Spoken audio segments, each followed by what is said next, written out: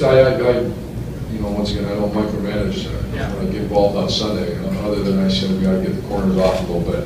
And I felt like, uh, when they started running by us, that's a problem. So we're just gonna have to reevaluate what we're doing, who we're doing it with, and, uh, make sure we give our team the best opportunity to win, and that'll take place tomorrow. Far left, Bill? And you're up thirty to seven, and it's thirty-three twenty-eight. What's going through your mind at that point? pissed. You know, it's, it's, you know, great teams don't do that.